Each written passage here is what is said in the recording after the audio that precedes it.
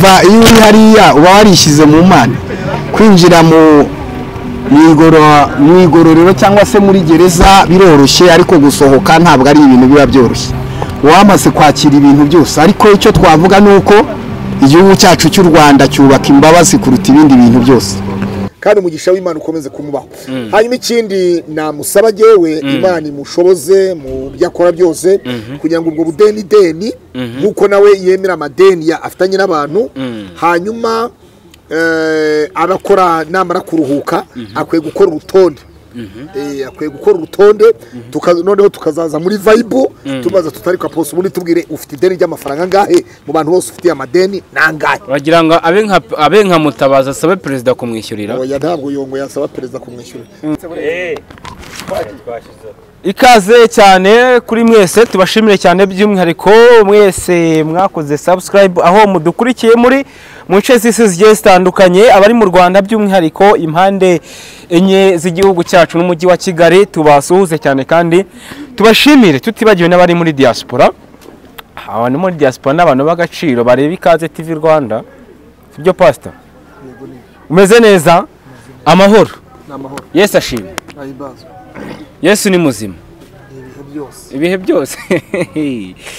Yego turi kumwe na all the time god is good. all the time. all the time god is good. Imana ni nziza cyane kuko ikora ibidasanzwe. Pastor yes turi ahangaha aho dusanzwe dukorera ibiganiro by'umwihariko no ku ikaze tv rwanda ariko tuvuye ahantu hitwa i madrid mu mageragere. Kwakira umuntu w'agaciro cyane. Azi ni uw'agaciro kuri wowe. Ni uw'agaciro. Hmm? ni uw'agaciro kuri jye ni uw'agaciro ku muryango we ni uw'agaciro ku gihugu ni uw'agaciro ku mana ku Yego. ariko si ukwambara neza koko ariko se rinete umunsi ni madamu wakugira inama yo kwambara gutya oya iryo zina ryihorera uvuze Mm. Mm. Mm. Wowe jya umbaza uti ni iyo nama ukwambika njye nshaka kukubaza Ukwambika ninde? ni byo ni byo nashaka kukubaza nyine ubundi mbika n'iduka ntabwo ushaka kuryamamariza kuko ntabwo byanyishyuye ahubwo n'igihe wishyura ibyo nguze. Eh, mba ndyamamarije ariko noneho ntabwo nshaka kuryamamariza. Muri make ntabwo ririshyura neza. Kontara ntiracamo. Yoya ntabwo ririshyura. Yego. Pasita claude by'umwihariko uri mu bantu bagaragaye mu kiganiro ni we by'umwihariko wabanje kuzamuka ukajya kwakira potere yongwe bwa mbere. Yego. Yongwe wamubonye gute? Um, aposo yongwe namubonye neza ameze neza. Yego. Kandi ikindi ni umunezero ni umunezero. Mm. ni umunezero gute? Bo iyo turebye um, irego yaregwaga nk'uko nawe yanabivuze yabyisubiriyemo kenshi. Yego.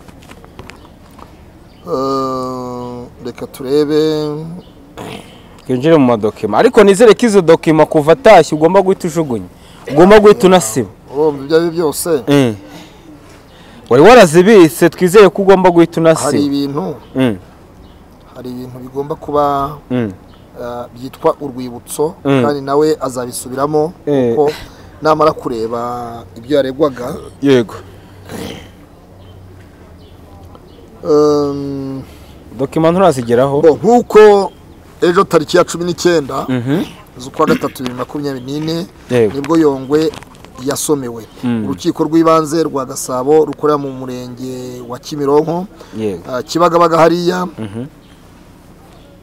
rwasomye urubanza ruregwamo apo ruregwamo apotre harerimana joseph yongwe. Ariko apotre ntibyanditse. Mm. ruregwamo harerimana joseph alias yongwe. Aho yaburanye urubanza yaregwagamo uh, n'ubushinjacyaha yego ku byaha bikurikira Mm. bigizwe n'icyaha n'inyito yitwa kwihesha ikintu cy'undi hakoreshejwe uburiganya bo havuzwe benshi havuzwe abitwa ba bugingo Faterine, faterine mhm. havugwa abantu batandukanye mu buryo bumwe cyangwa se ubundi Mm. apotere yongwe rero mu kwisobanura kwe eh, agaragaza uburyo azishyura ko aramutse agize amahirwe akajya hanze. akajya hanze ko yakishyura abo yambuye cyangwa se si n'abo yambuye kwa eh, ya abo yambuye. Mm. eh, bagiranye amasezerano abenshi bari baragiranye amasezerano ariko kandi biza kugaragara ko hari n'abandi bo hanze y'igihugu muri diaspora mu bufaransa muri canada mu bihugu by'abazungu bagaragaje ko batanze ibirego byabo kuri imeri kuri imeri Bakoresheje. Yongwe biramutangaza Mm. ibyo byose rero agaragaza ati aravuga ati nakiriye menshi Mm. nakiriye amafaranga menshi Mhm. ati ndamutse ndezwe n'uwampaye amafaranga uwo ari we wese sinabona n'icyo nishyura Mm. Pasita tutarajya wenda ku byabaye umunsi igikorwa nyirizina. Reka duse n'abasubira inyuma gatoya cyane ku byagiye bivugwa mu rubanza abantu batagiye bagarukaho. Hari ikiganiro cyagarutsweho apotre yongo yakoreye kwa yago tv show. Icyo kiganiro warakirebye Eh, no kuri baraka tv no kuri baraka tv reka dore ku cyo kwa yago avuga ati batwubakanye za kibagabaga. Na- gacuriro ntekereza ko iryo jambo ryagarutse inshuro nyinshi mu rukiko. Batwubakanye za kibagabaga. Arenzaho aravuga ngo isaha ni ituro ni ikibanza. ni ikibanza. Ku ruhande rumwe hari ikibanza yavuze ko yahawe n'umuntu yasengeye. N'umuntu yasengeye agaciro ka miliyoni zirindwi. agaciro ka miliyoni zirindwi. Yasengeye umugabo yaramutaye akagaruka. Yego. Izi videwo na zo ntekereza ko zashingiweho mu kugira ngo apotre yongwe atabwa muri yombi ni cyo ubivugaho? Mbo ni byo koko uvuga ngo eh, nahawe ikibanza n'umuntu kuko namusengeye. Eh, Mu rukiko uyu munsi mu rukiko bikaba byaragarutse. Eh, muri uko kugaruka rero icyo twavuga ni uko twa iyo turebye usanga harimana na hariya imageragere yavuze ngo ituro riremewe Mhm. niba ituro ryemewe. Muri make ntiyahindutse. Oya yavuze ati naha ni mageragere turatura. turatura. Mm, kandi tuvuga amaturo. Mm, ati icyahinduka ni inyito. Y'uburyo yabivugagamo niko yavuze. Ariko kandi aravuga ati mu by'ukuri niteguye kugira ibyo nahindura niteguye kugira ibyo mvugurura niteguye kugira ibyo nigisha. Ayidigiri mini digi hari ijambo rikomeye yavuze ngo mm, ibyo na- kera navugaga iby'abana Eh. maze gukura. Avuga ibyo abantu bakura iryo jambo risobanuye iki? Nk'umusesenguzi mukuru. Pawulo ni we wavuze ngo kera yavugaga iby'abana ngo ariko amaze gukura avuga iby'abantu bakuru Mhm. bivuze iki rero? Mm. amagambo bigaragara ko amagambo yavugaga kera. Mhm. Atari yahesheje imana icyubahiro ndetse nawe ubwe ntabwo yari yemewe ni cyo bishatse kuvuga Mm. ariko uyu munsi Mhm. eh, aragaragara ko yabaye umuntu mukuru Mm. urumva yabaye umuntu mukuru Mhm. aje mu myumvire mishya Mhm. yaratojwe Mhm. yaracuzwe Mhm. uyu munsi rero ari umuntu mushyashya muri make hari ibyo adashobora kuvugira kuri social media ahubwo akazajya akwandikira basi icyo yashatse gusobanura Eh, mbo, ibyo ari byo byose urumva Mm. Hari amagambo amwe yashatse kuvuga akazahindura atazongera kuvuga. Niba hari umusore wakubenze yarakwijeje kugushaka Mhm. zana ituro ngwino muguheshe. Mm. ayo ntazongera kuyavuga. Nimba hari umugabo hari umukobwa wakubenze zana ituro nguheshe Umugabo, umusore akurongore. Mm. niba ukeneye viza zana ituro. Mm. ukeneye ibi n'ibi n'ibi zana ituro. Mm. nibwira ko izo rero ni inyito ni imvugo atazongera kuba yavuga. Ni- ni- ni byo yatubwiraga ati hari inyito kera navugaga iby'abana. Ah, nakoreshaga mu by'abana ariko ubu ngubu nakuze nabaye umuntu mukuru. Mm. ndibaza muri ubu buryo. Pasita claude eh, ntekereza ko nawe hari ubuhamya wagiye utanga bugiye butandukanye. Ntekereza ko nawe hari abantu bagiye baguha amaturo atari na make cyane. Kuba uyu munsi wa- wavuga ngo umuntu yamuhaye ituro kuko namusengeye bikagenda gute Ah, ukaza kugaruka bikaza kugarukaho mu rukiko. Icyo kintu gishatse kuvuga iki pasita claude? Urakoze cyane damuru ituro ntabwo ari ikibazo Mm. ahubwo ikibazo ni amagambo aba yavuzwe. Mm. rero iteka iyo umuntu avuze ituro. Mm. ituro bibiliya iravuga ngo amaturo y'umuntu amuhe amucira inzira akamugeza imbere y'abakomeye. Amaturo y'umuntu amucira inzira akamugeza imbere y'abakomeye. Rero kuba yongwe yaravuze ku maturo ntabwo byari bigize icyaha. Mhm. ahubwo uburyo hasabwa amaturo byabyaye icyaha. Uburyo yasabwemo. Yego. Wenda reka tugaruke hari speech nyinshi za yongwe zagiye zijya hanze. Mm. Uh, kuba wabwira abantu abandi bantu mu buryo bugiye butandukanye. Yego. Ati ubuzima bwanjye bwose. Mm. nta ituro abana biga mu maturo abantu biga mu- ah, ntuye mu maturo njya mu maturo. Iyi mvugo yego. kuyibwira abaturage abaturage batari ababo ba- hari gavumenti hari ubuyobozi bubareberera ibi bintu bishatse kuvuga iki? Cyangwa se bisobanuye iki? Kubwira abantu ko muri make ibyaha byose ni amaturo ubayeho ko ari amafaranga yabo kubera nyine amafaranga y'abakristo. Mm. reka dukiyaringa ino mvugo pasita claude. Iyi mvugo bibiliya ivuga ku maturo. Mm. imbere abakomeye. Ah, ikindi hari umugabo witwa Apotre ntambara satata yavuga ngo ituro ry'umuntu rimucira inzira. Ngo ituro ri- riziba umunwa.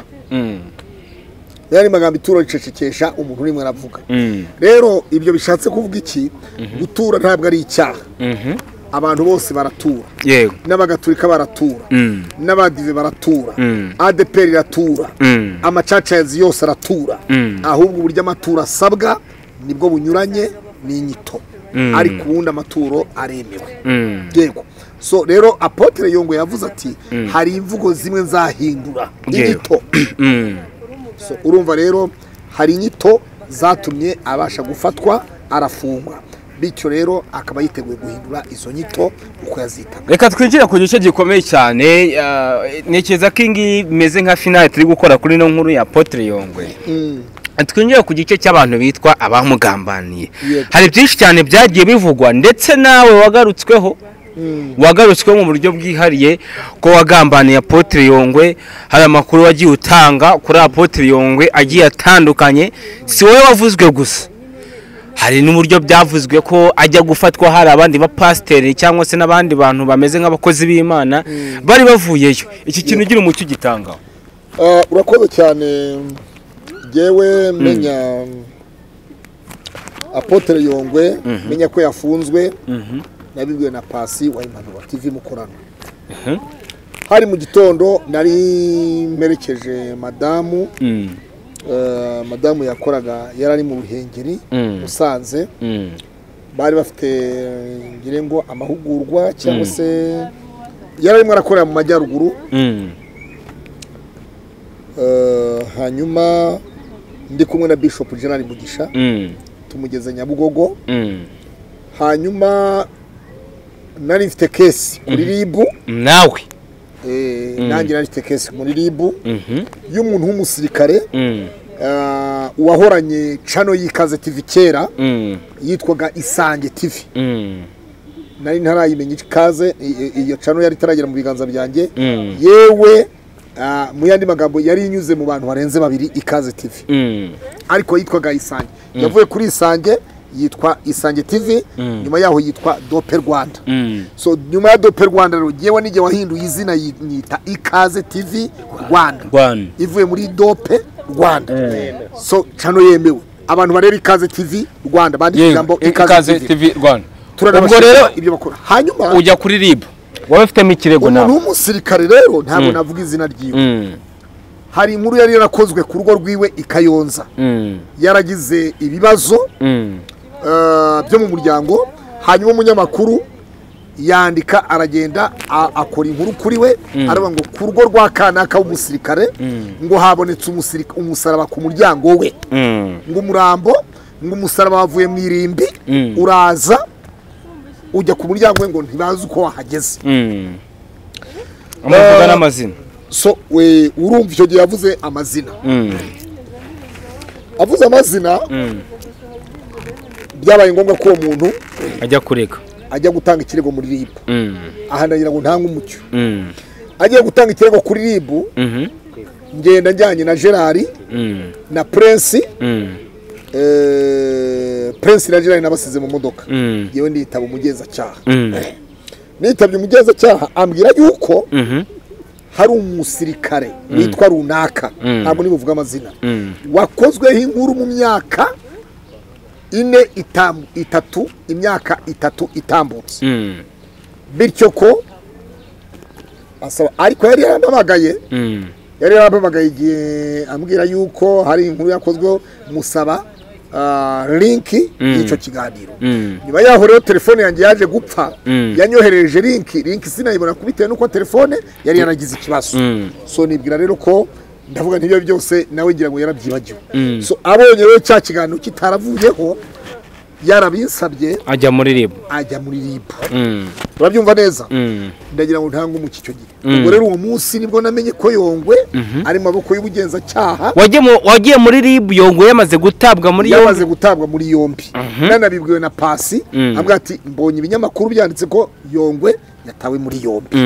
Noneho ngeze kuri ribu ni bwo nabajijwe n'abagenzacyaha bamwe na bamwe batari ko. Ibintu by'ubwesikoro kubera iki birimo biragaragara mu bakozi b'imana ati mwene wanyu ko ari muri yombi ni ukubera iki? Mm. ku cy'ubwesikoro kwihesha ikintu cy'undi n'ibiki abapasiteri benshi bakora ibintu by'uburiganya by'ubwesikoro mm. urabyumva neza? Mm. nanjye urumva nabyumviye kuri ribu ugera kuri ribu yongo yatewe muri yombi muri ayo masaha. Yari yarayatawe muri yombi. Eh, yatawe muri yombi ku itariki ya mbere z'ukwa cumi bibiri makumyabiri n'itatu. Njya kuri ribu ku itariki ya kabiri z'ukwa cumi bibiri makumyabiri na gatatu ibyo kumugambanira byaje bite rero? Ibyo rero Mm. ni imiyaga ubyumva bwa mbere. reka twinjire mu nkuru wa mukozi wa yongwe tv Mhm, ubwo yagiye ku gasara kidumbukiza mm, ati pasita korode ntabwo tumwizera. Mm. ashobora kuba ari mu bagambanira bosi mu bagambanira yongwe. Ibiki n'ibiki bihita bitutumba bigenda gutyo bigera kuri yongwe ku mugore wa yongwe. Ariko nyirizina byaturutse ku nkunga Mhm. sarongo n'umudamu umwe Mm. wo hanze. Mm. bari bateranyije umwe abiri n'itanu n'abiri n'itanu Mm. yo gusapotinga kugira ngo yongwe abona umwavoka abone umunyamategeko. Urumva ntibari bakoze igikorwa kibi. Bari bakoze igikorwa cyiza n'umunyamategeko ndetse yarayakiriye ahubwo uranyibukije baca umugani ngo iby'indangare. Umwami yagize gute? Yesu yasize abigabye yesu yasize abiga Yabe- urumva rero Eh, mm, ni uko byagenze nta kindi kindi nta yindi ntuzi aho byaturutse nari ninjiye mu gikorwa nk'umuvandimwe. Ndavuga nti umuvandimwe bwari mu kibazo. Mhm. reka nanjye nshaka uburyo mpanduringa ikibazo nkinjiremo hanyuma turebe uburyo bya n'umugore turi ni taci ese wagiye wagiye gushakira yongo umunyamategeko icyo gihe ujya no gushaka amafaranga mu mupfumu? Yari yarabisabye. Umunyamategeko yongo yabuze amafaranga yo kwishyura umwavoka banza wumve se. Mm. hari uburyo abagabo baganira Mm. kandi uko abagabo baganiriye ntabwo byose bijya ku karubanda. Mm. so urumva rero hari ibyo twaganiriye nawe n'umudamu we turi kumwe kuri ribu sitasiyo ya kimihurura hariya ku murenge wa kimihurura Mm. hari na sitasiyo ya ribu Mm. icyo gihe rero apotere ni ho yari yarari niyo wagusabye tunshakire umunyamategeko amafaranga ntayahari cyane oya iby'amafaranga urumva Mm. hari uburyo byavuzwemo twaganiriye. Eh, ntabwo rero so Uhita uvuga rero uti- mpita mfata iya mbere ndavuga ngo umuvandimwe avukira gukura abandi mu makuba. Mm. kabaza nsome ku- banza usome nukore mu izina rya yesu umuvandimwe yatashye. Iki kiganiro ngikoze rero Eh. nambaye rineti. Wambaye rinete kabisa ariko ziranakubereye ariko cyane. kwambara iyi rineti ni ukubera akavumbi ka k'imageragere. Ariko barimo barakora kaburimbo. Eh, Eh, urabona ko kaburimbo irimo irakorwa hasi hejuru. Irimo irakorwa hasi hejuru. Eh, ariko hari andi makuru yagiye avugwa.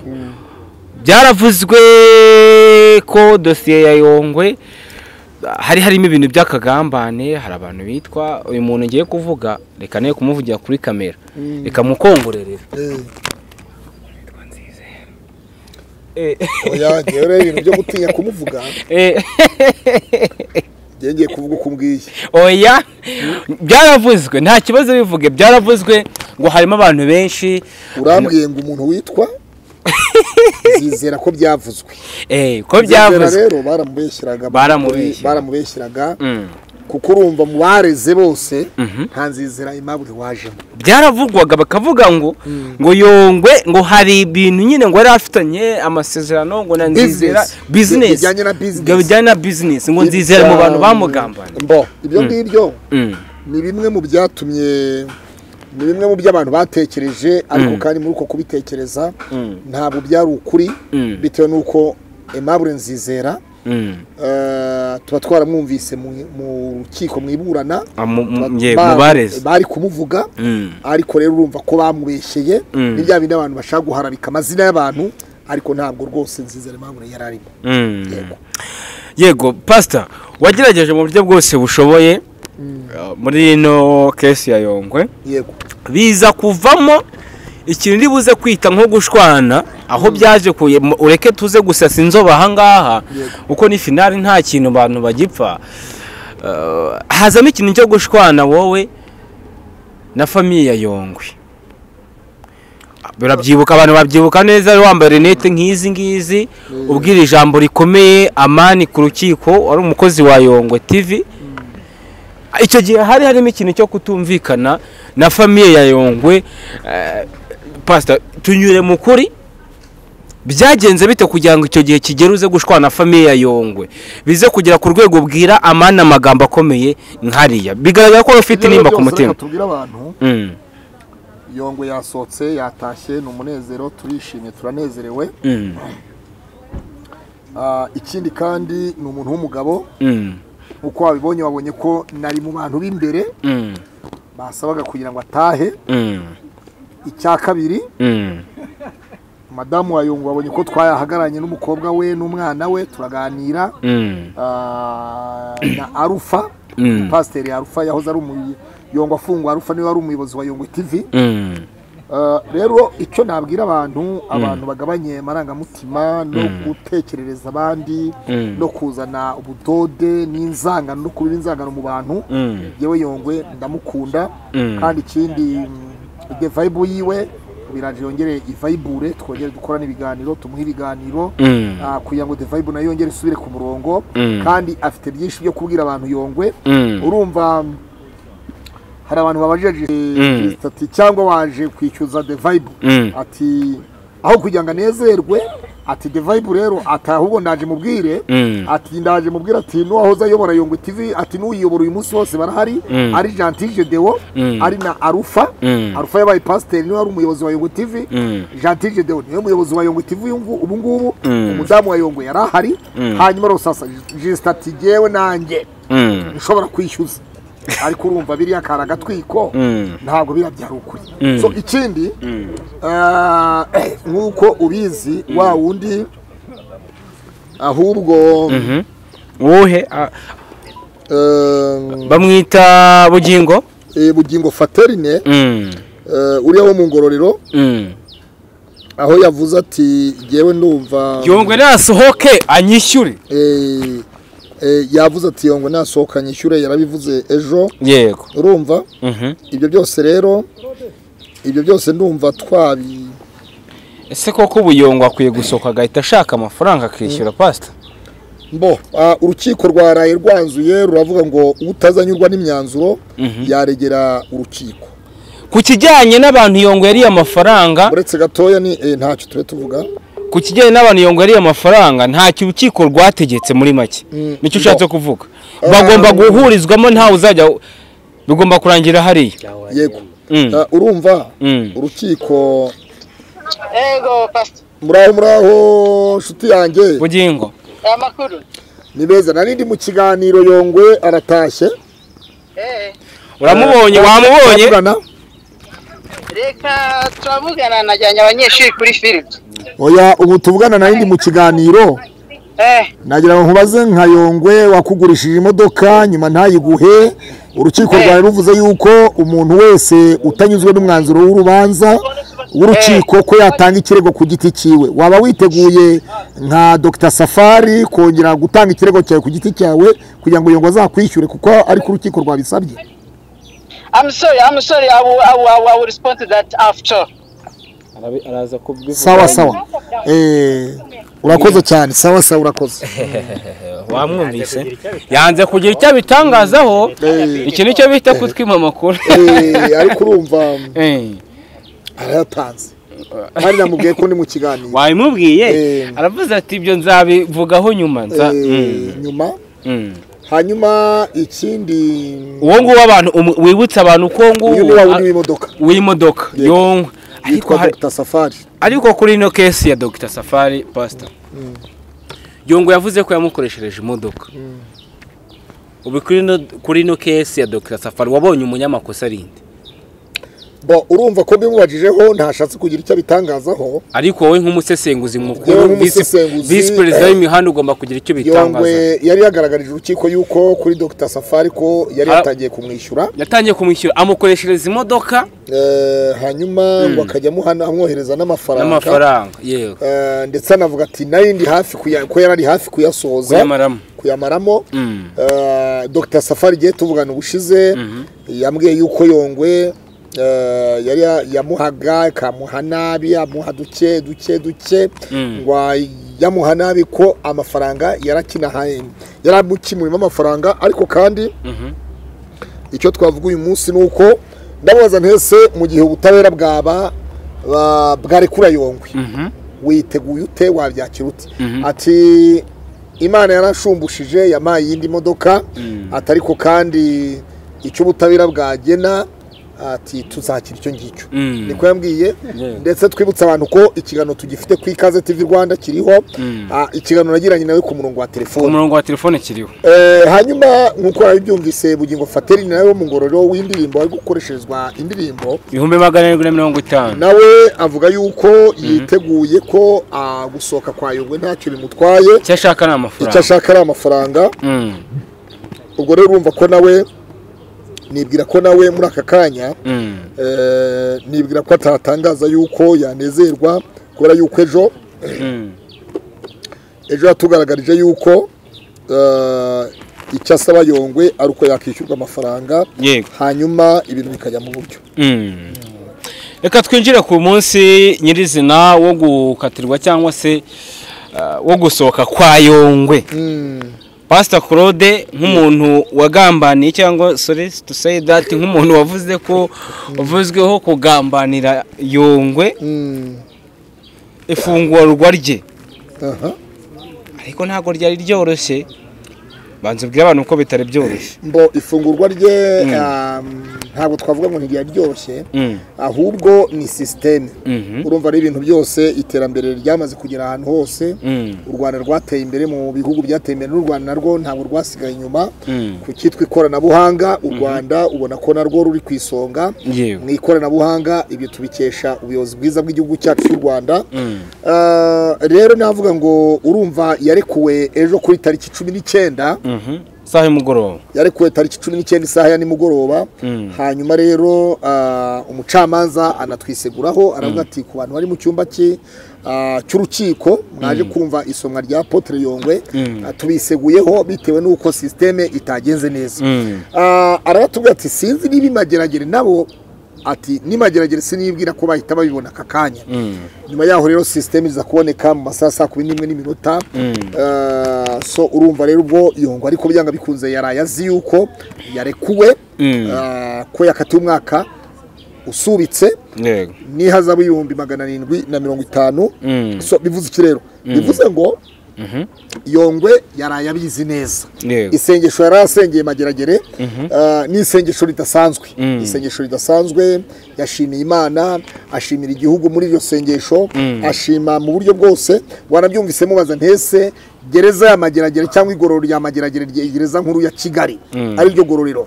Ko hari benshi basebya igororero rya kigali Mm. wowe urarivugaho iki Mm. kugira ngo abantu bakumva baguteze amatwi nk'umuntu umazemo amezi yari agiye kuba atanu. Mm. wumve nawe icyo uvuga kuri iri gororero rya kigali. Mm. kuko hari benshi baza basebya ngo bafashwe nabi ngo barakubitwa ngo bagira gute ese nka yongwe wowe ubivugaho iki? Wumvise ko nabimubajije?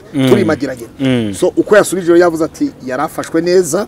Ati ngo yabwirizaga akabwiriza neza abantu bagakizwa ibintu bikagenda neza serivisi yakeneraga nk'uko yazikenera hanze um, mu kagari mu mudugudu mu murenge mu karere yazibonaga na hariya. So urumva mu yandi magambo yongwe yashimiye ubuyobozi bw'igororero rya mageragere cyangwa se gereza nkuru ya nyarugenge yongwe yayishimiye. So urumva rero nawe tumushimire kuba ibintu bimeze neza. Hari abaguciye akaruru utega baguciye akaruru utega kuri ino dosiye ya- yongwe. Abenshi bakwifuriza kujyayo ngo umusangeyo abandi bagushinja kumugambanira bavuga ati cya kurude ni cyo cyafungishije yongwe waramugambanire umuvugaho ibintu byinshi wishimye hejuru kuri yongwe ku rukiko. Eh, n'icyo ubabwira? Icyo nababwira ni uko ntabwo ndi buvuge nk'abo ngo mba sesengure mbasesereze Mm, nk'uko bansesereje. Mhm, ikindi ntabwo nabatuka ikindi ntabwo na ndabifuriza ibyiza. Ndabifuriza ibyiza kandi ikindi ngewe nigeze nivugira ijambo rivuga ngo unyifuriza ibyiza ijana Mm. imana izajya imuha ibyiza ijana na kimwe. Mm, kuko yanyifurije ijana ariko mwifurije ibyiza ijana na kimwe. Mm, unyifuriza ibibi ijana. Mm, icyo umuntu abiba ni cyo asarura. Yego. uburyo wahagaze impande ya yongwe mugahagana no mu kiganiro byagaragaraga neza ko nta mwuka mubi mufitanye. Ntawe uhari hano ntekereza yongwe kiriya gihe yari yikoraga vayibu yaravayiburaga yongwe yari eh, yikoraga ibintu bya showbiz. Mm. showbiz. Murabyibuka ko yigeze anavuga ati uwanga ko bamuvuga aguma mu rugo. Ati niba umuntu yizanye kuri kamera akaza kugira ibyo avuga. Niba bisesengura rero ntakavuge ngo bamurenganyije. Ati eh, so icyo twavuga rero muri showbiz iyi muri social media showbiz gutukana ntibyemewe. Kwinjira mu rugo rw'umuntu ntibyemewe. Amazina y'umugore w'umuntu ntibyemewe. Niba ari umugabo uri muri so- muri social media kirazira kuvuga umugore wiwe. Niba ari umugore uri social media kirazira kuvuga umugabo wiwe cyangwa abana biwe. Ariko ibindi kumuzana kumukwega uzi ko burya wa mudamu wa canini yari yambaye gutya yari yambaye neza yasaga neza ibintu nk'ibyo. Muri andi magambo ibyo biremewe ibyo ni gahunda. Kuko yaje muri social media. Yaje muri social media. ntaho abihugira. Pasiteri ndikumana emanuweli kera yitwaga ndimubanzi amaze gukizwa asobanukiwe neza yitwa ndikumana. Ari ku mana ntabwo ari mubanzi Eh. urumva? Eh. imana yamukuye mu banzi imushyira ku mana. Urumva? Ubwo yizanye muri social media. Kuvuga ngo damuru w'impanuro tv n'inzozi zacu tv yari yambaye neza made in rwanda hejuru hasi yambaye ikoboyi n'inkweto za supresi Yizanye muri social media. tukagusobanurira neza na, rase n'umusatsi tukawuvuga. Ibyo wizanye social media. Bivuze iki rero? Bitandukanye no gutandukira kuvuga izina ry'umuntu. Uramutse uvuze uti japani agira amaso atukura. Ntabwo ari ikibazo kuko yateye kamera. Urumva? Ibyo rero nuvuga uti korodeka zirakubereye rineti ubwo zigumizemo ni ukuri k'uwiteka kuko nazambaye kubera ivumbi ryerekeza imageragere barimo barakora umuhanda. Tunashimira ubuyobozi bw'umujyi wa kigali. Bari gukora imihanda buri gukora imihanda. Kuko n'umuhanda wa kigali mageragere twawubonye kaburimbo hamwe yagiye igeramo ahandi amavumbi aracya- aracyarimo barimo barakora. So dushimiye rero ubuyobozi bw'umujyi wa kigali mu karere ka nyarugenge ku muhanda kigali mageragere ijambo ugiye kubwira umuntu umuntu wakwijwe ibihuha by'uko wagambaniye yongwe umunsi byagaragaye ko nta kibazo mufitanye yitwa mani ni cyo umubwira kuri uno munsi yongwe yafunguriweho? Wowe wagiye no kumufata we ntiyanaje.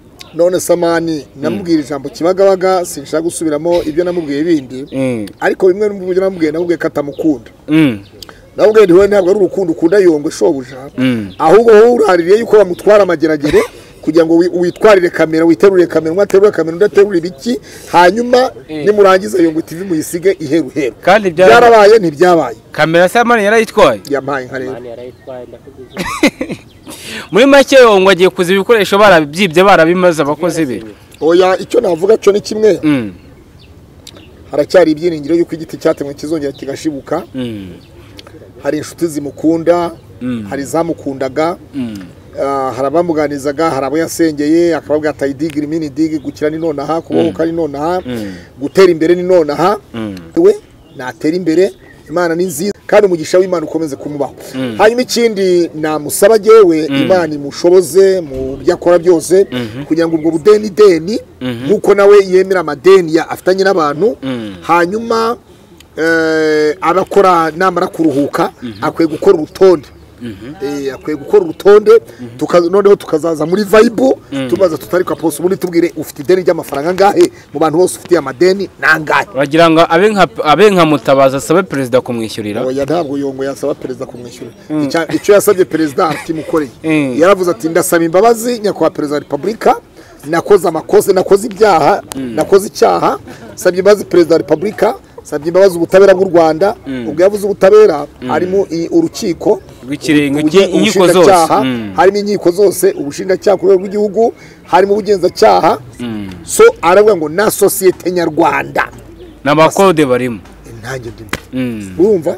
So rero apotre yongwe you. Uremewe kandi ngwino ukore iby'ubutwari. Hari ibyo imana yavuganiye nawe i madiride i mageragere. Ibyo ngibyo rero ni byo abantu bagutegerejeho. Mu gihe gisa nk'iki. Mm. hari ibyo imana igiye gukoresha apotere yongwe kandi abantu bagiye kubona imbaraga z'imana bagiye kubona gukora kw'imana ibyo bamu o- uko yahoze kera mu gakinjiro. Erega icyagiye kubyica Mm. abantu baravuze bati yongwe tuzi wo mu gakinjiro siwe w'uyu munsi. Nawe yarangiza ajya kuri social media akavuga ati yongwe wo mu gakinjiro yarapfuye ahubwo hariho yongwe mushyashya. Bya- byose ni ho byapfiriye. Eh, urabyumva? Iyo avuga ati amavuta yo mu gakinjiro Mm. ubu yikubye inshuro zingahe? Mm. wewe yaravuze ngo cya gihe yongwe wa cya gihe. Atandukanye na yongwe w'uyu munsi. Ubu yongo usohotse magiragihe n'iyongo wa hehe ni yongwe wo mu gakinjiro. Mm. yongwe wahoze muri adeperi warebaga bye. Akareba n'uwinjiye mu idirishya ku buryo Aka- akamusomamo ibyaha. Uwo ni we yongwe w'uyu munsi usohotse mageragere eh? Uzaba ujya kuri the vibe banza kurondore pastor. Tuza- azajya abanza aririmba indirimbo tuyiririmbe. Mm. ndondorera uyu mutima inkama zivemo wabyumvise? Eh.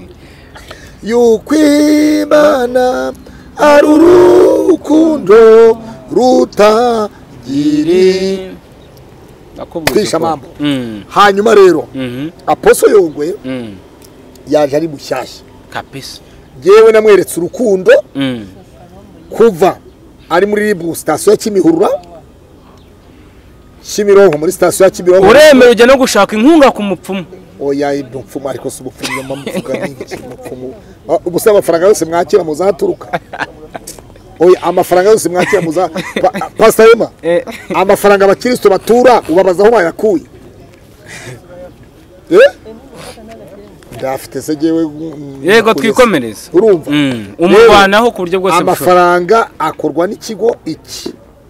Beneri cyitwa beneri ikigo cy'igihugu cyitwa beneri nta muntu n'umwe ukwiriye kujajinga ayo mafaranga ni ay'umupfumu.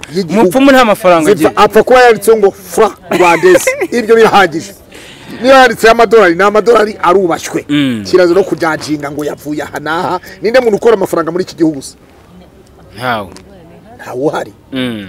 amafaranga aturwa mu nsengero hari aba- abapasiteri babaza abakirisitu aho bayakuye. Abasaba amaturo abakirisitu umukirisitu utazi ituro ujya kubaza gusa amafaranga wayakuye kwande? Ibyo ntabwo byemewe. Kuvuga ngo kwa sarongo ngo ayo kwa sarongo ayo kwa rutanga rw'amaboko ayo kwa ariko hariya ariko ubushujuguje umukozi w'imana. Abapasiteri mwaba kumufasha afashwe n'umupfumu. ariko uribuka ko sarongo yanasengeye yongwe mu kiganiro cyashize ejo bundi. Mm. yaravuze ati ndasaba imana yo mu ijuru Mm. imanuke wayo. Ubwo yavuze imana yo mu ijoro atavuze jya ajya ni byiza. Urumva? Mm. ahubwo ejo turajyayo kumusaba ikiganiro urumva? Pasiteri reka twinjire kuri seve ya nyuma. Abapasiteri ngo mwaragiye murigaramira mwanga gusura yongwe. Niyo makuru mfite. Umuntu wagiye kumusura umusanzwe yaje avuga ati abapasiteri bose bo mu gihugu cy'u rwanda bafashe yongwe barajugunya. Bari bazi ko atazavayo. Bo urumva ibyo byose hari apotere dogiteri masengo fideli Mhm. wavuzwe wagarutsweho kenshi. Watumye atu iriya videwo ifatwa. Eh, Eh. eh, dogiteri masengo fideli yavuzwe mu bugenzacyaha. Mm. aragenda agera mu bushinjacyaha kivugwa fideli masengo. Agera mu rukiko fideli masengo avugwamo kuri iyo videwo iyo mabwiriza iwe. Mm. hanyuma havuzwemo apotere arise kabera minyoni Mm. nk'umubyeyi wa apotere yongwe harerimana kuri apotere minyoni Mm. ni we wimitse apotere yongwe ku bwa apotere Mm. hanyuma rero sasa Mhm. ah, iyo bavuga abapasiteri pasiteri antoine kanoni rutayisire ni umubyeyi ariko urumva ngira ngo ntibari inshuti cyane na yongwe Eh, kandi ikindi gihari gikurikira pasiteri kanoni antoine rutayisire akunda gukora ivugabutumwa mu magereza. Mm. birashoboka ko banabonanye ntawamenya. Mm. Eh, ariko mu minsi ishize yari afite ingendo nyinshi zo kubwiriza muri amerika Mm. eh, za kenya n'ahandi eh, mu buryo butandukanye. Rero urumva abakozi b'imana batandukanye bamwe babanje gutinya tinya ubundi urumva uzi ko yongwe mu bantu yashimiye nta hantu yavuze ngo ndashimira abapasiteri? Abapasiteri yashimiye umugore we umuryango we ashimiye n'abakristo. N'abanyamakuru. N'abanyamakuru. Bakoze inkuru. Banam oya banamusuye Bamusuye. ntabwo ari abakozi yashimiye n'abanyamakuru bagenzi be. Bamusuye. Mm. n'ibitangazamakuru yabishimiye. Mm. kuki atavuze abapasiteri? Yashimiye ibitangazamakuru ikaze tv rwanda yayishimiye. Kandi kandi ubamubwire yongwe Mm. ikaze tv niyo icyo kinyamakuru cyatangiye gukora inkuru kuri yongwe. Urumva? Mm. ari muri ribu eh, kimihurura. Ikaze yarako- yaramuvuzeho. Mm. kimironko ikaze yamuvuzeho. Ajya mu bushinjacyaha ikaze yamuvuzeho. Mu rukiko uh, aburana ifungwa n'ifungurwa. Ajya ajurira irusororo ku rukiko rwisumbuye. Ikaze yari ihari. Asomerwa irusororo ikaze yari ihari. Agaruka mu mizi. Ikaze yari ihari. Wabyumvise? Bivuze iki rero? Ikaze tv rwanda. Abantu bajya ku ikaze bandika ijambo ikaze tv rwanda. Ireme. So icyo nsabira yongwe rero ni uko nsaba ngo inshuti ze. Abamwemera abakunda yongwe bamushyigikiye bashaka kumufata amaboko. Nibamufata amaboko bavuge bati umukozi w'imana. Ntawe bitabaho. Mageragere ifite ah, mageragere ubu se yongwe aruta abajenerali kuba yafungwa. Aruta abaminisitiri kuba yafungwa. Ntiyari kumwe n'abamporiki eduwari honorable.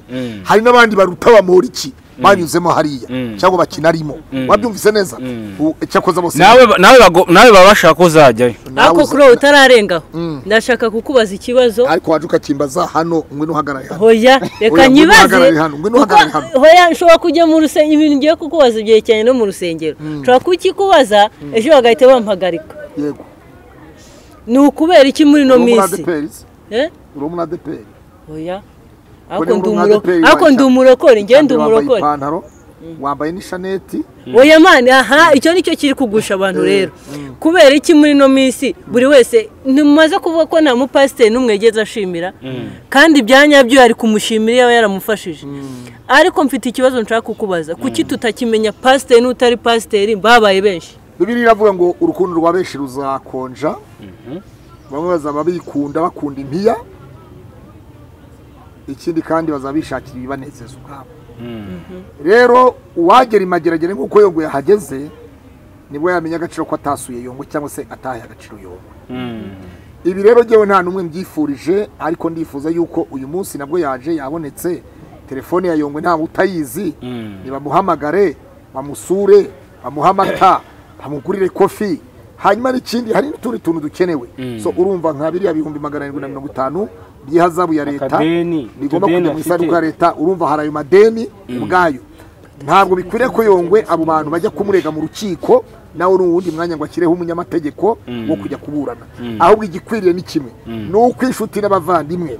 Bamuhamagara bati akadeni k'umuntu w'indirimbo ari nkwishyure." itanu reka nkakwishyurire Mm. akadeni. K'ibihumbi magana atanu k'uwitwa daniyeli reka nkakwishyurire akadeni um, k'uwa miliyoni ebyiri n'igice wakureze mu bunzi akagutsinda mu bunzi ari nawe wakwijyanye ribu reka nkakwishyurire akadeni aka n'aka n'aka n'aka. So bivuze iki rero? Icyo bivuze yongwe kugeza ubu ntakeneye. Abanyamagambo twaragusengeye abo ntibakenewe hakenewe uvuga ati mfite ibihumbi ijana mfite ibihumbi mirongo itanu mfite makumyabiri mfite icumi nimero yawe iyi ni nimero yawe ibaruye ku mazina yawe ati cyane nta zindi negosiyasiyo ubu nawe Union yewe barayifunguye ubu barayifunguye ubu baba barayifunguye Union. uyu yafunguwe nyine. None se No. magana arindwi n'itanu yaturuka he?